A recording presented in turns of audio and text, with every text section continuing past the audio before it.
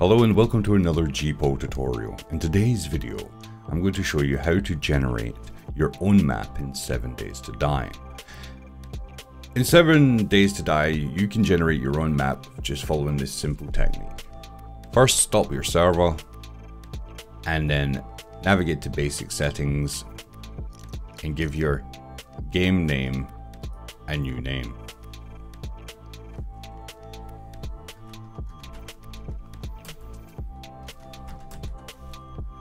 For example. Next, navigate to the game world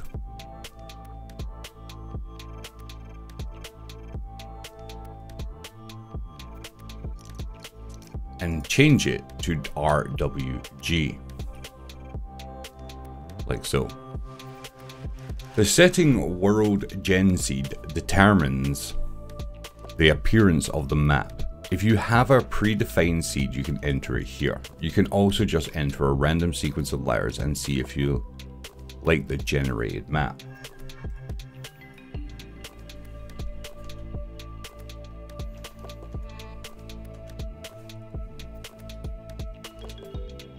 Now you can set the desired size of the world gen size.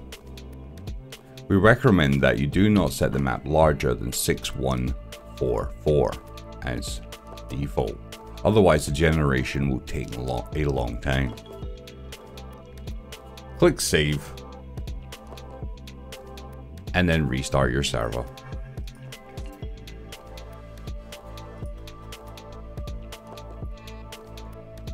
Generating the map can take a long time. You can follow the current status of the generation in the logs of your server.